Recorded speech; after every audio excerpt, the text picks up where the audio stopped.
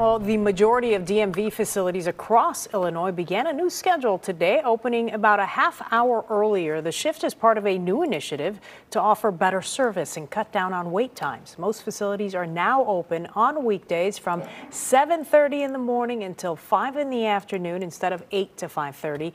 The shift also applies on Saturdays when DMVs will open from 7:30 in the morning to noon.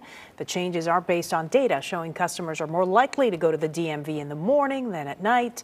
Uh, service hours at locations serving seniors in Addison, Bridgeview, Calumet Park, Evanston, and Westchester have not changed, though.